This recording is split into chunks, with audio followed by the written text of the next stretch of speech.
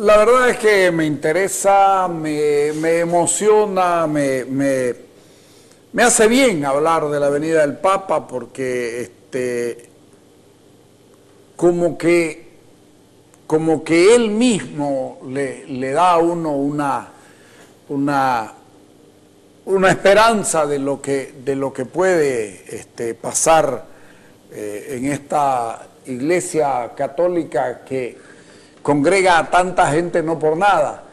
Este, de verdad que me, alegra hablar con Julio César, me gusta estar haciendo el seguimiento, hemos dicho, bueno, hagamos y pongamos todos los días cuando comience el programa una cuestioncita de estas para ir motivando, porque yo digo, más allá de que seas o no creyente, a la gente ni le interesa si uno es o no, es creyente, lo importante es eh, lo que se puede generar a partir de esto y, seguramente, como dice Julio César, eh, puede haber un, campo de, mejor entendimiento en la gente y eso, eso es impagable.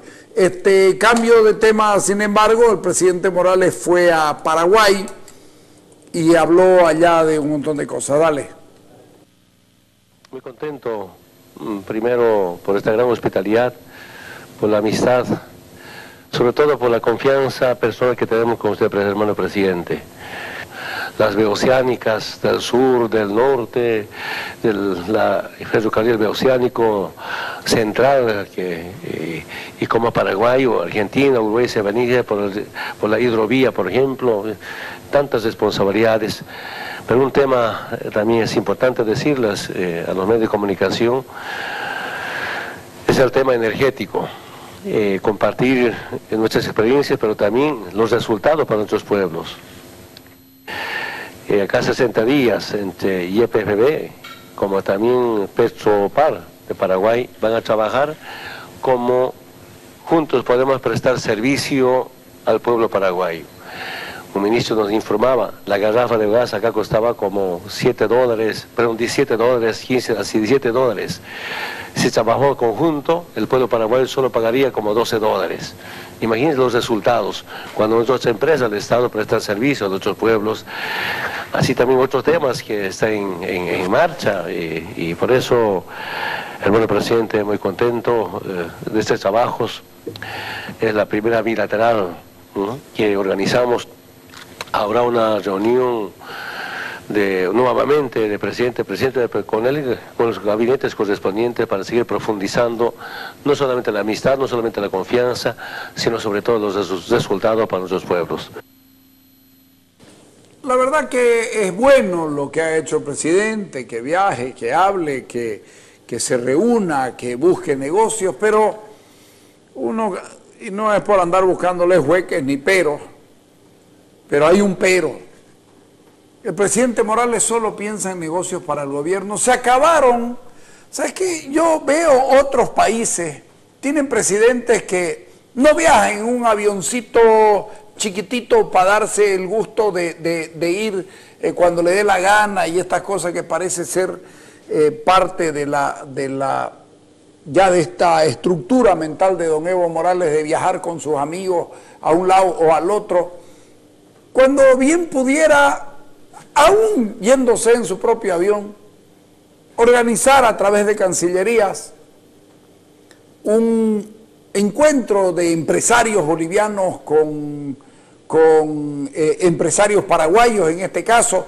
Eh, la presidenta de Argentina viaja con cientos de, visitantes, el presidente de Perú viaja con, con una cantidad de empresarios porque de eso se trata. Aquí el ministro, el presidente, hagamos gabinetes integrados. Al pedo, viejo. Al pedo, eso no saca nada. Acuérdense lo que les estoy diciendo. Dilma Rousseff se ha ido a Estados Unidos a una reunión que es de, de, ese tipo, pero en otras oportunidades hemos visto que ha viajado con 500 empresarios. Evo Morales, lamentablemente, para nosotros no invita a nadie. Se va solito. Y está bien que consiga negocios para el gobierno boliviano, claro, para el Estado boliviano, claro que está bien. Pero resulta que el mundo, el mundo no, no, se, no tiene eh, relaciones solo de Estado a Estado, sino de ciudadanos a ciudadanos y de empresarios a empresarios. Y la economía de Bolivia no acaba en la economía del gobierno boliviano o del Estado boliviano que solo llega al 52, 55% el ingreso de los hidrocarburos y que seguramente va a mermarse a partir de, de esta merma que tiene el precio internacional. A mí en lo personal me preocupa, yo no soy empresario, no quiero ir, no quiero que me lleven, ninguna cosa de esa. Pero me preocupa que se tenga tanta chatura y que no se tenga una, una visión de estadista pensando en que estas cosas son importantes.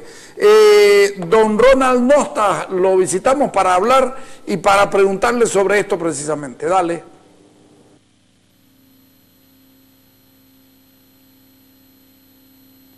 Este tipo de viajes no debería ser una oportunidad para poder, para poder ofrecer nuevos productos diferentes a lo que son los productos tradicionales, teniendo en cuenta que en los últimos tiempos se ha venido hablando mucho de diversificar la economía, se han tenido reuniones, incluso cumbres agropecuarias en las cuales también se ha hablado de potenciar estos otros productos. ¿Cómo ve usted este tema? Yo creo que desde todo punto de vista, eh, los viajes que hace el presidente al exterior deberían ser aprovechados para vender al país. Vender al país y, adicionalmente a eso eh, planificar una, estrategia que nos permita a los empresarios acompañar al presidente y poder buscar oportunidades de negocio, tanto para la exportación como para la importación. Eso es fundamental. Nosotros hemos venido proponiéndolo desde hace rato porque creemos que es una necesidad urgente y que es un desperdicio todo lo que se, está haciendo porque no se está aprovechando. Eso es una, como les digo yo, es, desperdiciar oportunidades que las tenemos ahí que podrían ser de mucho beneficio del país. Nosotros hemos venido planteando desde hace bastante tiempo de que hay que eh, fortalecer el cambio en la matriz de exportación, la dependencia que, que tenemos del tema de hidrocarburos, del gas, eh, ahora en, el tema de minería que está muy, muy, muy decaído, no es buena, por más de que se represente, o sea, no estoy hablando de sustituirla, porque todos somos conscientes de que es importante, de que es un ingreso fundamental pero creo que no debe eh, no debemos pasar a, la confianza en exceso porque nos pueden suceder cosas como, como las que están sucediendo en otros países ahora.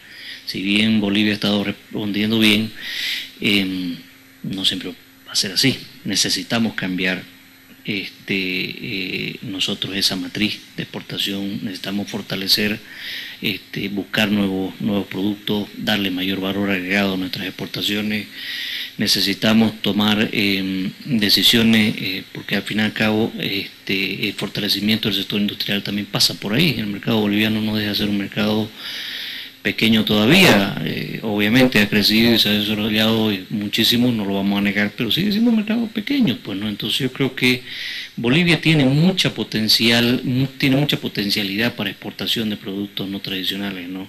Tenemos un abanico de de, productos que pueden ser exportados, que necesitamos pues este, trabajar complementariamente con el gobierno para lograr que los mercados se nos abran.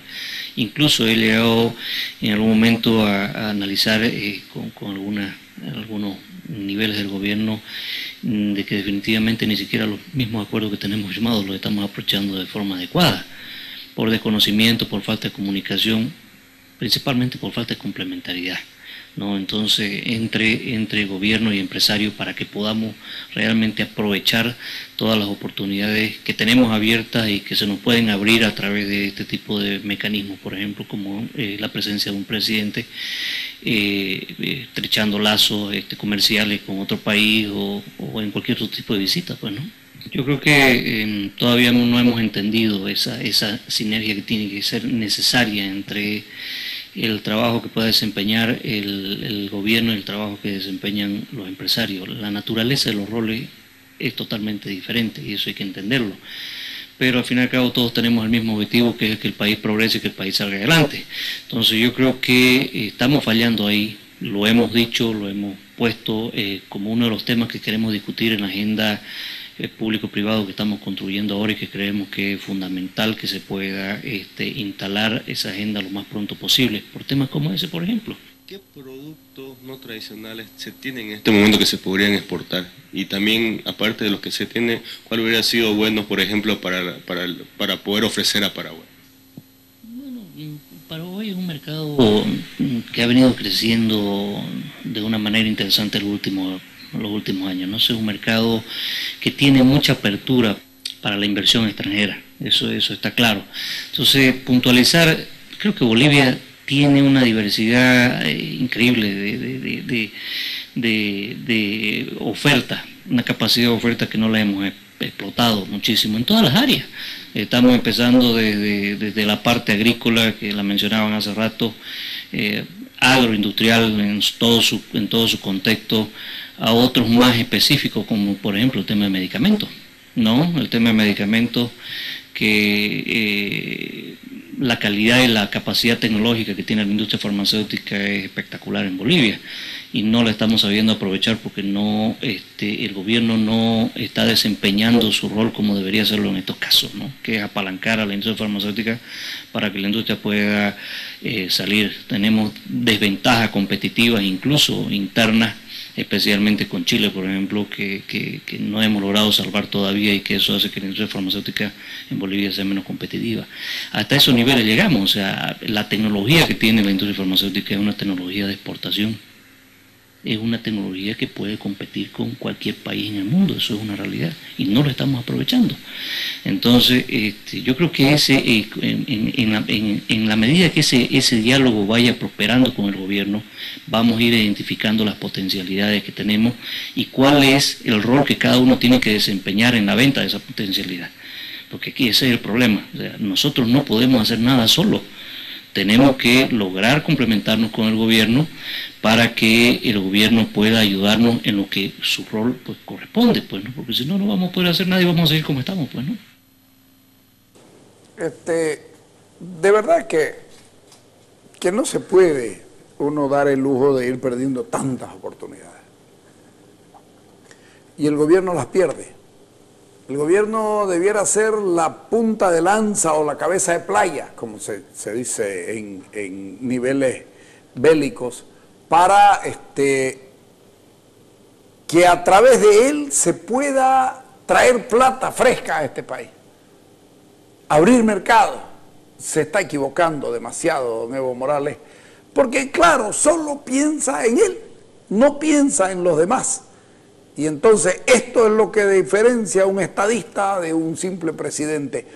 Eh, don Juan Pablo Saucedo, del Instituto Boliviano de Comercio Exterior, fuimos a buscarlos también porque en lo personal, como programa, a todos los que estamos aquí nos preocupa que no pase nada con relación a esto. Dale oportunidad perdida el hecho de que haya reuniones con presidentes como el que hubo ayer con el presidente de Paraguay y que se estén perdiendo oportunidades para abrir mercados a otros productos necesarios?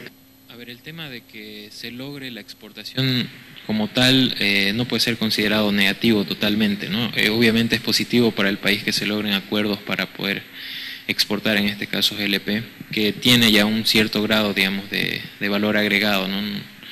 Eh, sin embargo, el tema está en el manejo que se hace de la promoción de la oferta exportable del país. Eh, sin lugar a dudas de que se puede hacer más. Eh, hay muchos productos con, mucho valor agregado, con características únicas en el país que podrían ser bien aprovechados para llegar al mercado no solo paraguayo, pero a otros mercados mucho más competitivos. Y todo dependerá de... Eh, cómo se haga la promoción de esta oferta exportable, ¿no? porque eh, es muy débil ¿no? el respaldo que se da a estos sectores, tanto dentro del país, ¿no? generando las condiciones para que puedan desarrollarse, como al momento de dar a conocer eh, cuál es eh, la gama de productos que tiene Bolivia ¿no? para, para exportar. El tema de la promoción comercial se puede reflejar claramente si nos comparamos con nuestros vecinos. Nuestros vecinos tienen oficinas comerciales administradas por el sector público, por sus gobiernos, eh, Pro Chile, Pro Perú, eh, Pro Export Colombia, eh, todos ellos que manejan claramente cuál es la oferta exportable del país y constantemente están participando en ferias, en misiones comerciales, intentando ubicar cuáles son los sectores o posibles sectores consumidores de los productos de estos países. Entonces, eso se, nota que hace falta en el aparato eh, público de promoción de exportaciones. Entonces, eh, se necesita un mayor impulso de este tipo de instituciones. Y por otro lado, el hecho de que se pueda manejar la oferta exportable boliviana eh, desde un punto de vista netamente comercial, no necesariamente eh, político, buscando ¿no? solo acuerdos de, ese orden, sino pensando a futuro en generar empleos, ¿no? Eh, generando mayor inversión en el país, que eso es al final lo que a la larga puede generar bienestar social. Bueno, la relación comercial con el Paraguay, en términos de acuerdos que existen, se lleva adelante gracias a un acuerdo que Bolivia tiene firmado con el Mercosur, es el acuerdo de complementación económica número 36, que permite a Bolivia ingresar con arancel cero para todos sus productos al mercado paraguayo. Sin embargo, el mercado paraguayo, aparte de ser muy pequeño, no ha sido tan aprovechado. El año pasado, por ejemplo, se exportaron 56 millones de dólares, que es una cifra pequeña, digamos, comparado con, con otros países de la región a los que se exportan digamos, mayores volúmenes. Eh, es deficitaria la relación comercial. El año pasado hay una, un déficit comercial bilateral con Paraguay de casi 40 millones de dólares. Este año, hasta el mes de abril, eh, Bolivia ha exportado solo 7 millones ¿no? y ha comprado desde Paraguay 32 millones de dólares. Entonces hay una balanza comercial negativa ¿no? en lo que va de 2015. El año pasado, eh, justamente hablando del tema del, GLP, este fue el principal producto de exportación al Paraguay, ¿no? Entonces nos da una idea de que eh, probablemente exista una relación similar a la que existe ya con, Brasil y Argentina, ¿no? en la que el gas natural representa el, el mayor porcentaje de las exportaciones. En este caso, el año pasado, las ventas de GLP significaron casi el 50% de las exportaciones bolivianas al Paraguay, entonces estamos hablando de que eh, somos monoexportadores, digamos, al Paraguay, ¿no? no tradicionales pueden haber en Bolivia para poder exportar y que puedan ser útiles y atractivos para el mercado? Bueno, hay que considerar que el mercado paraguayo es un mercado pequeño comparado con Brasil o con Argentina. Entonces, eh, para realmente aprovechar este tipo de mercados, lo que se debería ofrecer son productos con mayor valor agregado. Eh, aprovechar ciertos nichos de mercado en, estas economías, tratar de llegar a los consumidores de clase media alta, con productos del rubro agroindustrial, con productos como cueros y sus manufacturas, maderas y sus manufacturas. Eh, este tipo de productos que eh, podrían tener un, impacto en términos de, de precios, digamos, ¿no? Si vendemos materias primas ya ha quedado demostrado de que eh, somos susceptibles a los cambios, las fluctuaciones de los precios internacionales. En cambio, si lo que vendemos son productos con valor agregado, eh, existe no solamente la posibilidad de aguantar este tipo de, externalidades, sino también de generar empleos en, Bolivia. Miren ustedes, Saldo comercial con Paraguay, periodo 2010-2014, avance al mes de abril del 2015. En el año 2010 perdimos, frente a lo que Paraguay nos metió, a lo que nosotros le metimos a ellos, 12 millones. El 2011, 31 millones. El 2012, 59 millones. El 2013, 40 millones. El 2014, 39 millones. El 2015, 25 millones de dólares menos de lo que nosotros le vendemos a ellos. ¿Me pueden creer que nosotros le compramos gasolina y diésel a Paraguay que no produce? ¡Ja! Somos muchos tipos. Somos muchos tipos. Claro, les vendemos gas licuado de petróleo. Hasta ahora le vamos vendiendo 24 millones 264 24 millones 264 mil 206 en dólares americanos. Le vendemos cueros y pieles curtidos de bovinos, agentes de superficie orgánicos, eh, torta y demás residuos de extracción del aceite,